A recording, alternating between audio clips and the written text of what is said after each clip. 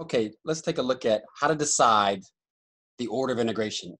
We've, we've seen a video on dy dx with the vertical slice moved horizontally. We've also seen a video on dx dy with the horizontal slice moved vertically. And now we're going to look at different questions to try to figure out, should it be done as dx dy or should it be done as dy dx?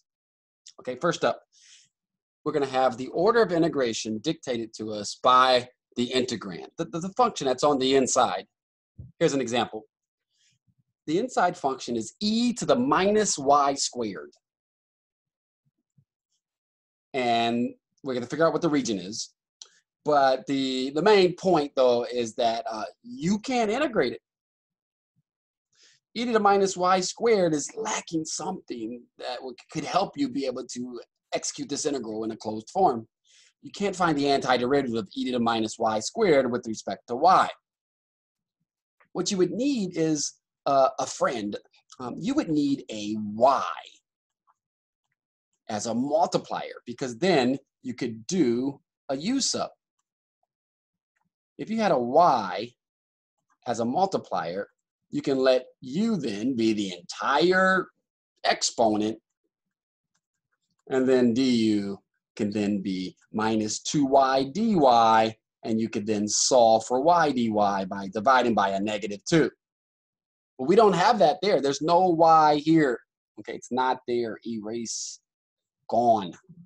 You can't integrate y first, and it's because of the integrand. Can't find a closed form for that antiderivative. Now, the integral is set up as y first from the I want to talk for a second about being able to interpret what the region is. Like no one said the region is bounded between this curve and this. All you have is the double integral. So here's how you can go about figuring out what the region is. The region doesn't dictate to us that we should do it as dx dy first. It's the integrand. This, this must be done as dx dy if, if you're going to do it at all. Okay, dx dy. And so uh, what is the region? You see, your y bounds are y equals x and y equals 2. All right. And so that's going to be then, uh, these, these are lines. These are nice lines that you can go and graph, right? y equals x and y equals 2. So we have our x and y axis. Here is the y equals x. And then here is the y equals 2. Now, we um, we are they they have it set up as a dy dx. We're, we're gonna we're gonna switch it, but I just want you to know what the region looks like though.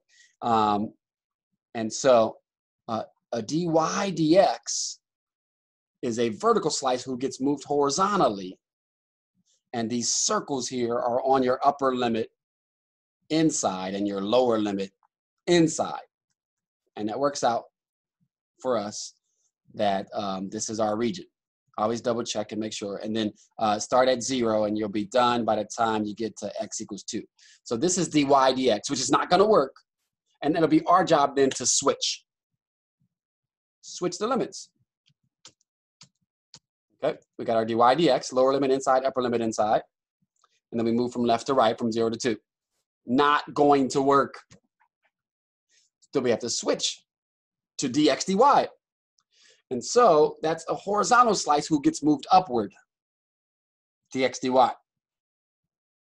Put the circles at the end of your slice because they will dictate to you who your upper limit inside is and your lower limit inside is. Now we're doing it dx dy, so the functions have to have equation x equals and x equals. This left one here, the lower limit inside, that, that's the y-axis. That's called x equals zero. And then this line on the on the right side, that's the line y equals x. We just have to call it x equals y. And then this thing gets moved vertically upward from zero to two. So we have it We've switched the bounds because the integrand dictated to us that we must. We can't integrate y first. No way to find the antiderivative of our integrand with respect to y. But watch what happens if we integrate with respect to x first. So now we change it to be dx dy, same integrand, and now my bounds are lower bound inside of zero, upper bound inside of y, moved vertically upward from a lower bound zero to an upper bound of two. Now the integrand, who is in terms of y, gets treated like a constant. There are no x's in there. It's the same as integrating your favorite number, whatever that might be. Integrate 4. The antiderivative with respect to x, 4x. The antiderivative of e to the minus y squared with respect to x, e to the minus y squared times x. Now watch what happens. The thing that banned you from being able to do this before now will, occur.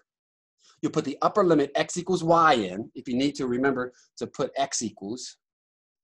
x equals to remind yourself. x equals, you are replacing x with y. You are replacing x with 0. And so now you have a calc 1 integral. The y is there now. Your friend has arrived. So now you can do a u sub. Lower limit gives you 0. Okay? All right, great. What's the u sub? We did it already. Uh, here, u is minus y squared. So du is minus 2y dy, divided by negative 2. The replacement to y dy is negative 1 half of du. The new integral becomes negative 1 half e to the u du. Antiderivative is e to the u with the negative 1 half multiplier. Go back into what u was. u was negative y squared. So we have negative 1 half e to the negative y squared as our antiderivative. And we're going to plug a 2 in and plug a 0 in, and we're all done with this question. Change the bounds. I mean, uh, change the order of integration because the integrand dictated it to you. Put a 2 in, you get e to the negative 4. Put a 0 in, you get e to the 0, who's a 1. Keep the negative 1 half outside. There, you did it. Okay.